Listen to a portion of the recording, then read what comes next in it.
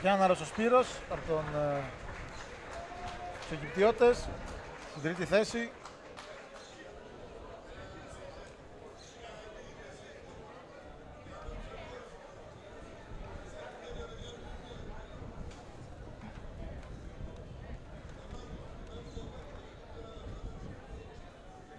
Στη δεύτερη θέση ο Παναγιώτης ο Μαγδανής από τη Λίμνο Στη δεύτερη θέση, ο ναυτικός όμιλος Λίμνου με τον Μαγδαλή Παναγιώτη.